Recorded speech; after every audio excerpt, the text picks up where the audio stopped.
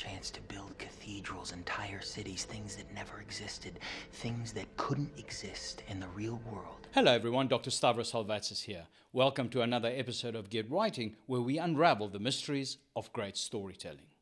What is a metaphor, and how can we use it to deepen, elevate, and electrify our stories? Let's jump right in.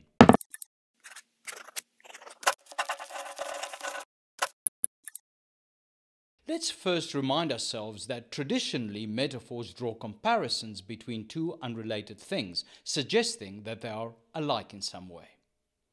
Metaphors are efficient ways to communicate complex ideas and emotions through powerful imagery.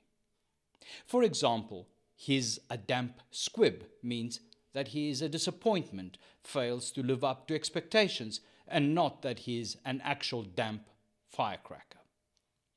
The essential thing to understand is that metaphors transfer characteristics from one thing to another, suggesting that both are alike in some way.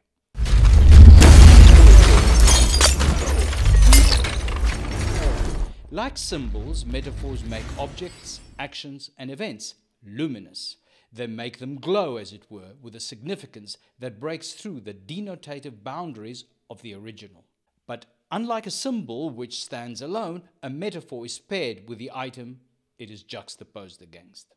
Here's how metaphors function in the film Inception. Perhaps the most striking is the concept of inception itself, the planting of an idea in someone's mind. Once an idea has taken hold of the brain, it's almost impossible to eradicate. An idea that is fully formed, fully understood, that sticks. In the film, it is elevated to a literal and bizarre level. The idea of planting a seed that grows and takes root mirrors how metaphors can be subtly introduced and bloom in your story.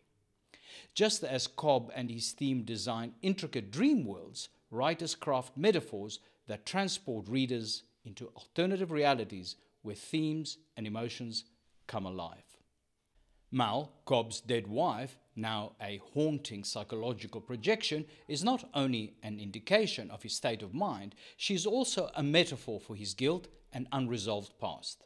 Mal is a spectre from his suppressed memories, much like how our inner demons and unresolved issues haunt us in real life. In many ways, this projection has turned Cobb's world upside down a metaphor that is visually expressed in the film through the inverting buildings and streets. Layered dreams themselves are generators of symbols and metaphors highlighting the complexity of the human mind. They expose how thoughts and emotions can interweave, much like metaphors provide layered meaning in a story. The dizzying chase, for example, is not just exciting action, it is metaphorical drama. The heights are visual metaphors for the challenges and obstacles we face in real life. The chase represents the drive to solve our inner problems. And how can we forget the iconic spinning top? Yes, the top is a tool used in the story to indicate to Cobb whether he is dreaming or awake. If the top continues to spin, he is dreaming. But if the top obeys the laws of physics and tips over, he is awake. But the top is also a metaphor for reality's uncertainty, an idea that lingers in our minds long after the film ends, much like a well crafted metaphor lingers in our readers' and audience's thoughts. Inception then serves as a brilliant example of how metaphors can be seamlessly woven into a story's fabric how they allow the writer to challenge perceptions, generate fresh insights between seemingly unrelated things, and create new and lasting luminous impressions that effervesce beyond the literal meaning of the plot. To sum it all up, then, a metaphor makes a comparison between two seemingly unrelated things, generating new meaning as a result of a juxtaposition.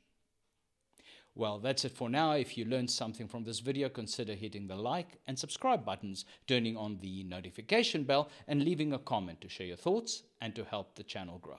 Thank you for watching, and I'll see you soon.